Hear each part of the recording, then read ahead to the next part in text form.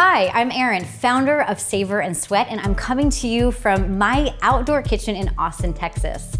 As a professional in the fitness and food space, I have spent my entire life studying and experimenting with how to live a healthy lifestyle. Through all of life's phases, from my early 20s as a professional dancer, through my pregnancies, and now as a mom of two boys, I realized that my definition of healthy changes and evolves throughout all of life's phases. But the one constant is that my goal is always to feel good, grounded, and happy. And I know we can do that through food and movement. Now more than ever, it's important to invest in you. It's a new beginning. Let's do this together. Let's get cooking, let's get moving, and let's start feeling good every day today.